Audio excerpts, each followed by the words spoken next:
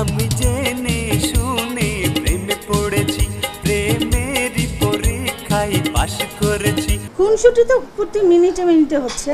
আমরা সারাক্ষণই ঝগড়া করি আর সারাক্ষণই ভালোবাসি।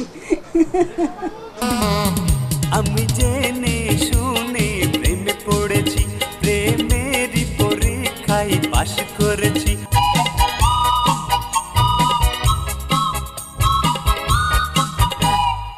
লম্বা সময় পার করার কিছু কারণ হলো যে আমরা দুজনেই আসলে স্যাক্রিফাইস করতে জানি।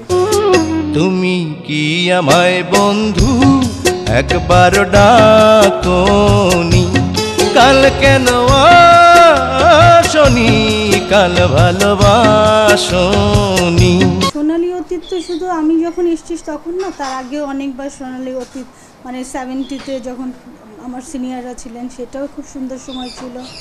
এইটটিতে আমি এসছি নাইনটিতে নাইনটিতে যখন এসছি তখন টিনেজ লাভ স্টোরির যুগ ছিল। আমি বেশ কতগুলো টিনেজ লাভ স্টোরি করেছি, সামাজিক ছবি ছিল, সবাই ফ্যামিলি নিয়ে দেখার মতো ছিল।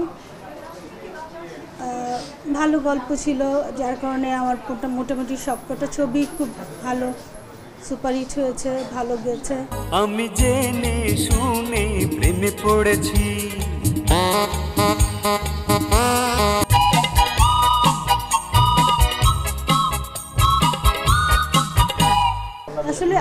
কাজ করেছি ইন্ডাস্ট্রিতে, এটা হলো যারা প্রডিউসার তারা বলতে পারবে, তারা কেন ছবি এখন প্রডিউস করছে না। নিশ্চয়ই আগের মতো লগ্নি ফেরত পাচ্ছে না দেখেই করছে না, যখন ইন্ডাস্ট্রি বা হল সিনেমা হলগুলো ভালো হবে, ভালো ছবি তৈরি হবে, ইনশাল্লাহ আবার আমাদের ইন্ডাস্ট্রি জেগে উঠবে, এটা আশা করি।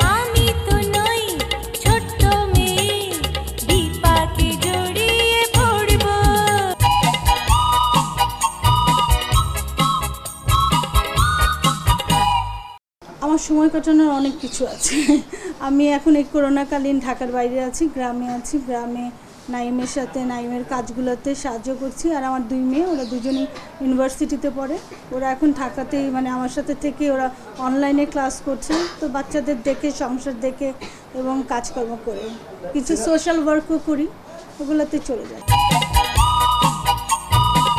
আমি আসলে খুব কম সময় কাজ করেছি তো নাইনটি ওয়ান থেকে নাইনটি সিক্স তো নাইনটি সিক্সে আমার যে জুটি ছিল নাইম, তার সাথেই আমার সময় কাটে। তো আমরা পুরনো গল্প করি, আমরা পুরনো গান শুনি, আমরা কোনো দিন বসে পুরনো ছবি দেখি, ওই আমাদের দুজনের মধ্যেই সীমাবদ্ধ।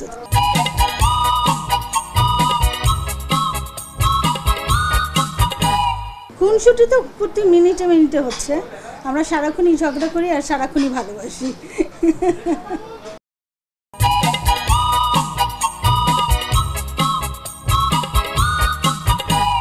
লম্বা সময় পার করার কিছু কারণ হলো যে আমরা দুজনেই আসলে স্যাক্রিফাইস করতে জানি। কিছু কিছু ক্ষেত্রে নাইম স্যাক্রিফাইস করে, কিছু কিছু ক্ষেত্রে আমি স্যাক্রিফাইস করি। যার জন্য আমরা এখন পর্যন্ত আমার মনে হয় দুজনের আন্ডারস্ট্যান্ডিং ভালো এবং দুজন দুজনকে প্রচণ্ড ভালোবাসি দেখেই এখন আছি একসাথে। এটা আমরা গ্রামে যেরকম এলাকার ছেলেপেলেদের ছেলেরা যারা আছে বা মেয়েরা যারা আছে, ওদেরকে নিয়ে ক্রিকেট টুর্নামেন্ট করে থাকি ব্যাডমিন্টন টুর্নামেন্ট করে থাকি। তারপর ওদের যে যে যে কোনো কিছুতেই ওরা যেটা করতে চায় না কেন আমরা সেটা উৎসাহ দিই। আমরা ওদের পাশে সবসময় থাকি। No no this is not NGO এটা হলো আমরা নাইমের নাইমের ব্যক্তিগত উদ্যোগ।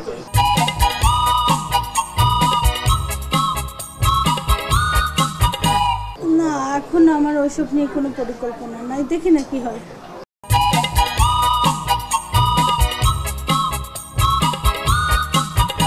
আসলে এটা না, হঠাৎ করে না। আসলে সবাই মনে করে হঠাৎ করে করা। এটা আসলে আমরা বিগত প্রায় দশ পনেরো বছর ধরেই চলে আসছিল।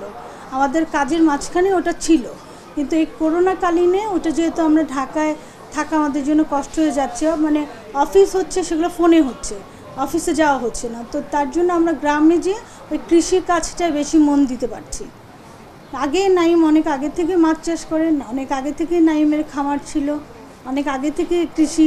যেরকম আমার আল্লাহ রহমতে আমি সয় মানে আমার বাড়ির সব সবজি, চাল এগুলো আমার ওখান থেকেই আসে, আমার বাজার থেকে কিনতে হয় না।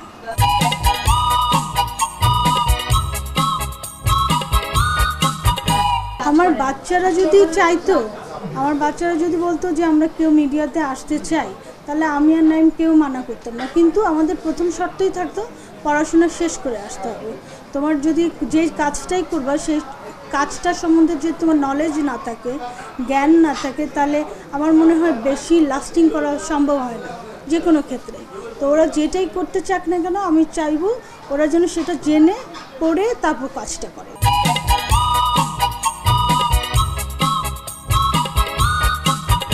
আসলে আমি এটা নিয়ে কিছু বলতে পারব না, কারণ আমি নতুনদের নিয়ে কাজ করিনি। আমি না জেনে ফাট করে একটা নতুন ছেলে মেয়ে সম্বন্ধে কেন বলতে যাব যে ওদের আন্তরিকতার কম বা একজনের কারণে ঢালাও করে সবাইকে বলাও তো ঠিক না। হ্যাঁ ওরা তো আমার তো মনে হয় ভালোই করছে। ওদেরকে অপরচুনিটি দিতে হবে, ওরা তো ওরকম অপরচুনিটি পাচ্ছে না। পেলে তারপর আপনারা বলতে পারবেন যে হ্যাঁ ওরা খারাপ কাজ করছে বা পারছে না। ইউজ করার ব্যাপার রাইট তাদেরকে ওভাবে আমার মনে হয় ইউজ করানো হচ্ছে না। আমরা পাচ্ছি না, সেখানে আমরা ব্যর্থ।